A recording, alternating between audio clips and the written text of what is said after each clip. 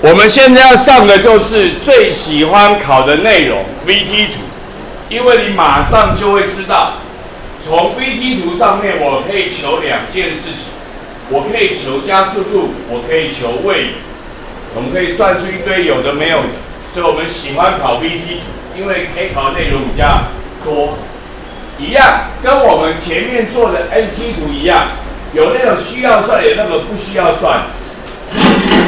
看他做什么运动，不用算。比大小，原则上也不用算。确确实实的算，我要请你算加速度，我要请你算位移。待会后面会告诉你，OK？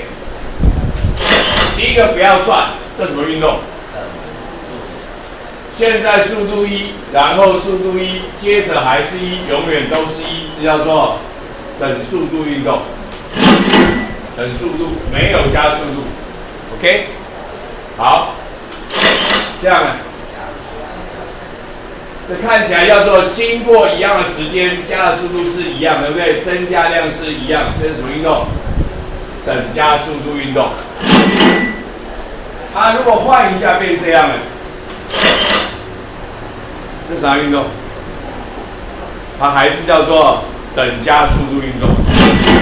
这个跟刚才这个跟刚才怎么不一样？等一下要问你，这个图跟刚才那个图有什么不一样？我等一下要问你，有何不同？那这样呢？还是叫做等加速度？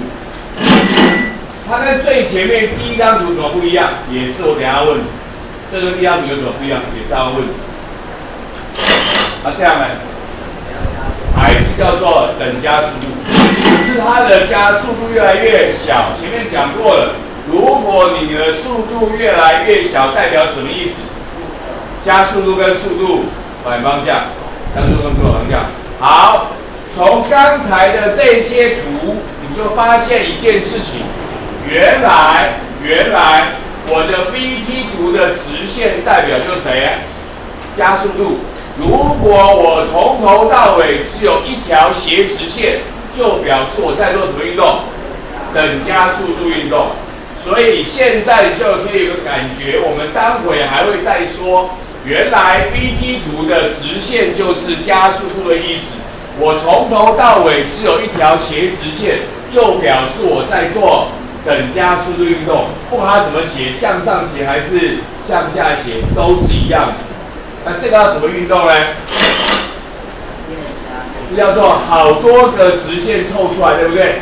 就表示有好多个加速度嘛，就所谓的非等加速度运动，或者是变加速度运动。这件事情原则上国中没有，我们没有注意这个问题，不知道，所以就看完就算。这样就是第一种题型，我不要你算。我要你看到图形之后，知道它做什么运动，知道什么运动是在静止的，还是做等加速度的，还是怎么样？这叫做不需要做计算，看图说故事的这件事情是最基本的。未来甚至于在计算的题里面都需要用到这样的想法，所以要请你能够深切了解。OK。